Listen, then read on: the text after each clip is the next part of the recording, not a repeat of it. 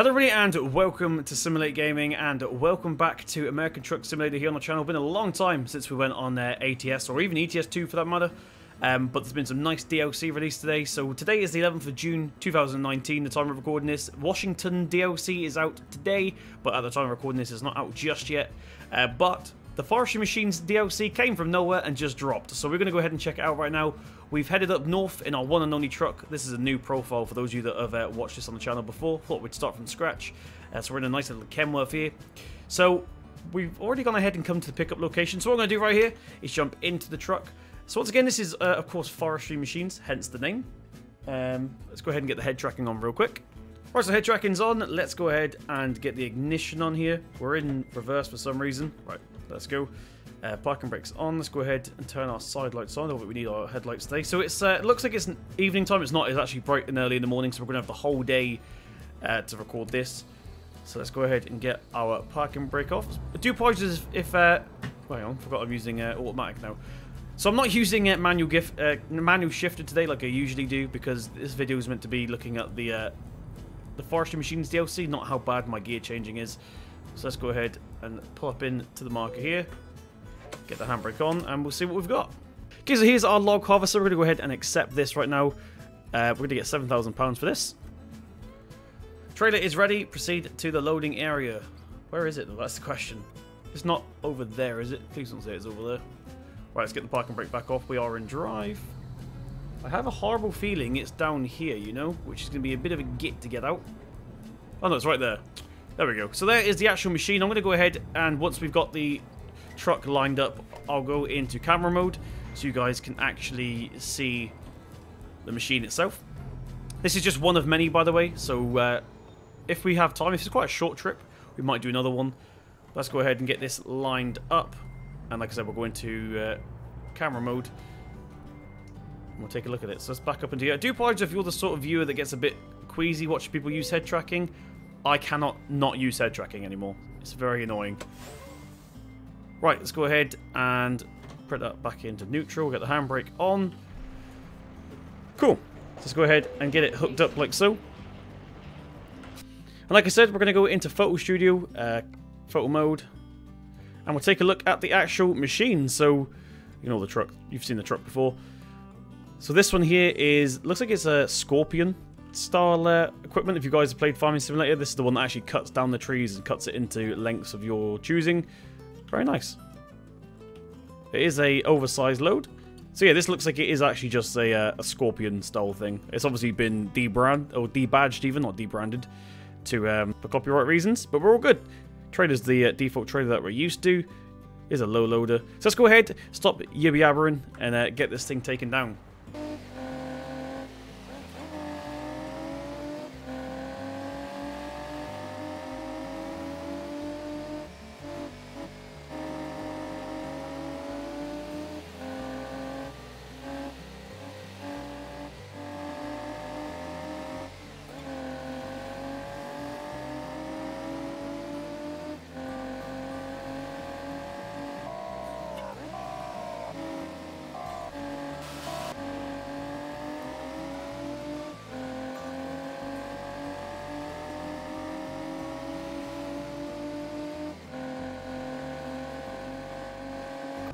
Okay, everybody, so we've actually scrapped that first job. Um, I did do it. Um, I don't know if I'm going to leave it in the video or not. We'll soon find out how long the video is. I might put it after this one, but we found a much better job now. So at least we got to show you the, uh, the Scorpion or the Cutter or the saw, whatever you want to call it. We managed to see that. Uh, but like you see, we're now in an actual logging area, which is pretty cool. Um, so I think, if I remember right, we're picking up a stump grinder. Uh, let's go ahead and see if we can get this now. We're in desperate need for fuel as well. There we go, stump grinder. Let's go ahead and collect that one. So yeah, the first job was uh, basically taking it from... Where did we take it from? It was from, from the dockyard? No, sorry, it was from the dealership, I think it was, to just like a machine um, distributor or something like that. It's basically a warehouse. Um, oh, that was what we were meant to be picking up. That red thing there. Obviously that one's being used, but that was one of the cargoes we were meant to collect, but we were too late picking it up. So we've come to this one instead. I'm currently looking for my stump grinder. So there's the trailer we could have picked up. Ah, there it is. So yeah, this one should be a lot better. Um, video-wise, and it's also more daylight now, so you guys can see a lot better. Uh, we are in desperate need of fuel, though, that's the only thing. Right, let's go ahead and get this thing into reverse here. So this is definitely going to be the one we're going to be using in the video. Um, that's awful job at reverse and uh, simulate. Let's go ahead and straighten up. Why are you going backwards if I put you in forwards? Makes no sense. Because I didn't put it in properly. That's what she said. Right, let's get this put in to reverse once again. We'll back up a little bit straighter this time, hopefully.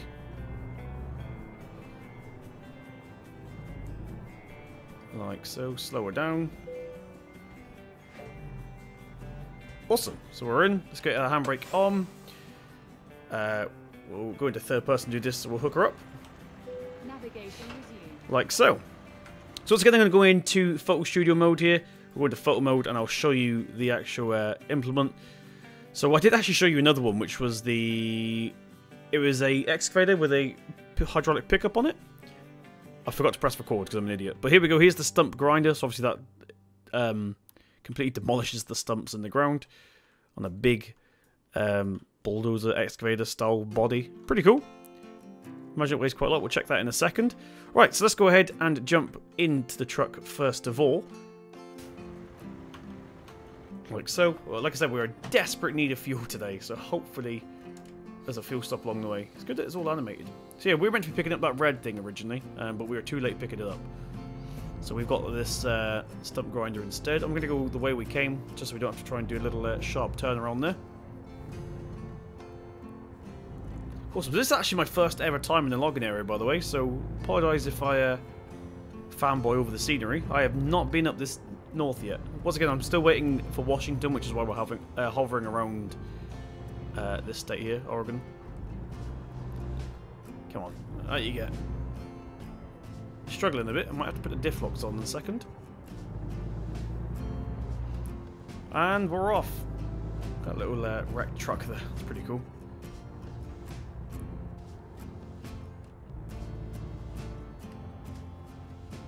So once again, if this is the only video one I'm putting on the channel, I've got to repeat everything I've already said once in this video, but uh, welcome to the channel if you are new here. Uh, I'm Simulator Gaming, I do wheel cam on most of my uh, most of my videos. Usually, if actually for the regulars, you may notice the shifter's back. We've not used the shifter for a long time. Um, I'm using automatic today in ATS because this is about the uh, the forestry equipment, not how bad my gear changing is, so I didn't want to bother doing that.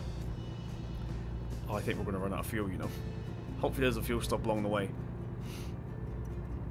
But there's also a wheel cam in all my videos. You guys can see what I'm doing. Um, if it's a driving game, of course. Let's go ahead and put our Jake brake on here. I don't want to waste the brakes going along here. But I also don't trust ourselves so close to this edge. So we've got a few machineries that I've seen on the pack. I've only seen three of them so far in game. So we've got the Scorpion, which is what we picked up originally, but the driver's very boring. We were, it was all motorways, so uh, speaking of which, we are now on tarmac, so slow down a little bit. We can go ahead and turn our lights off. I'm going to leave the side lights on though. In 50 meters, turn right. So we do have um, the Google Maps UK voice installed on the navigation. Right. Let's just stop here. My brake's are a little bit sensitive, I think. Right, let's go this way.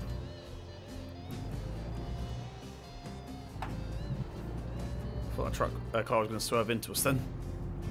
And we're free. What a beautiful scenery we've got. It was again, I've not been up this north yet. I think that I've been to Redding and that was it. I've never actually been up in like the mountain area, which is pretty cool. Wow. But yeah, just sitting around today waiting for Washington. So once again, today is the 11th. Oh, wow. There's a combine coming up here with a huge traffic jam. Feel sorry for those trucks trying to get their way up there. Yeah, but one thing I will say before we head off in time lapses, uh, that's another thing I do. Instead of ranting on for 20 minutes or however long the uh, journey is, I do time lapse most of my videos. Um, so you guys get to see the whole thing. This here is the Logitech side panel, previously Saitek. I have two of these. Um, I recommend these a lot. I'm not sponsored to say that. I just do think they're really good units, and I'm not going to show you on this road, but I can actually control the camera with this. You could do it if you're in cab. Of course, I got head tracking on, so it's not going to do anything inside the cab for me. But if I go into quickly here, control the camera with that, which is really cool. I do want to get one of those um, proper American Truck Simulator ones, though. I'm going to save up one of them, I think. Can't afford one just yet. Um, they look pretty cool. It's a shame there's only the American configuration. I'd like the pull-down levers for the uh, ETS2 as well. But yeah, we've got our... Oh, the yellow buttons here are all of our lights and stuff. Uh, we've got the purple ones, which is our functions, like the wipers and the diff locks and stuff like that. And uh, radio as well is on here. In fact, no, I've moved radio to the steering wheel, sorry. Um, you will notice if you've never seen this before and you go online, that there's a wheel. You can get a wheel package. Don't get the wheel. Actually, there's a copper in the middle of the road here. You have to come out onto the yellow line a bit. Not a very safe place to stop there, is it?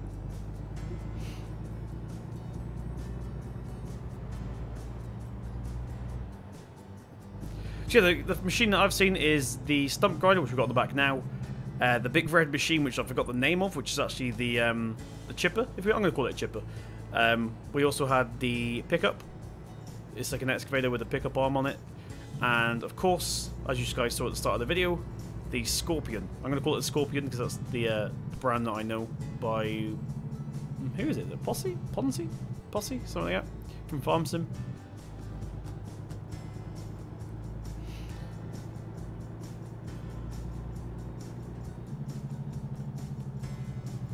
Another thing you're going to see me do in this video quite a bit as well is go to third person. If I don't usually do that when I'm playing ETS, 3, ATS or ETS2, um, but seeing as we're showcasing the trailers and the cargo, I'll be doing it quite a bit today.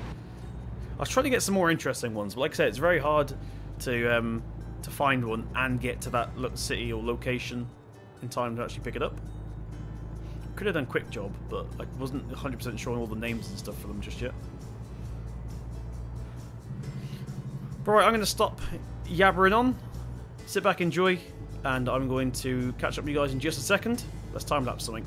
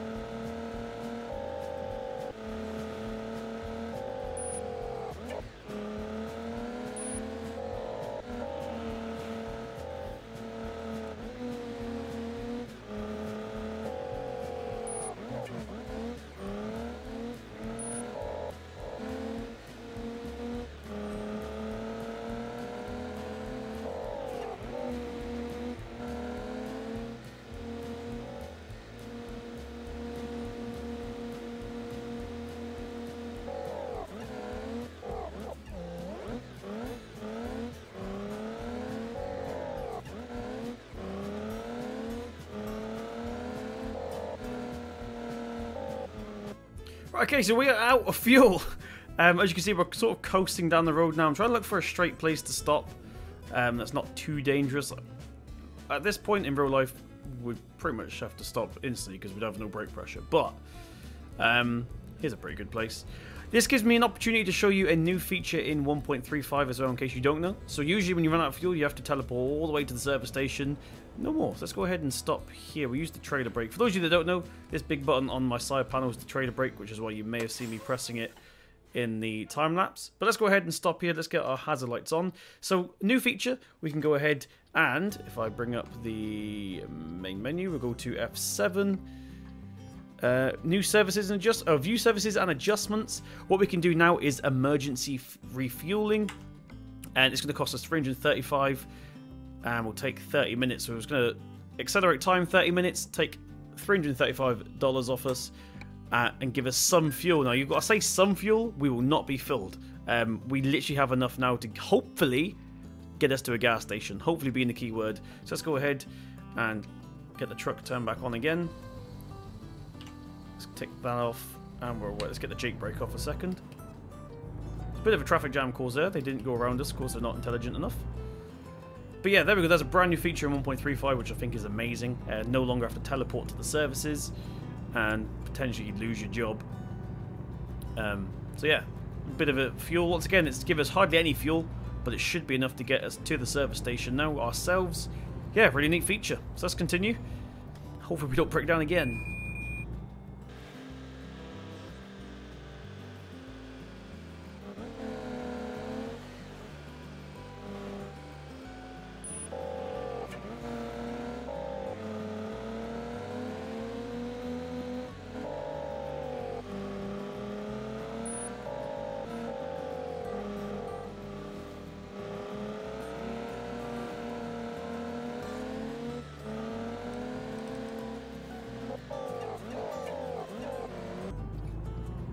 Right, so we made it to a fuel stop. However, this load is uh, a little bit oversized, hence the uh, oversized signs.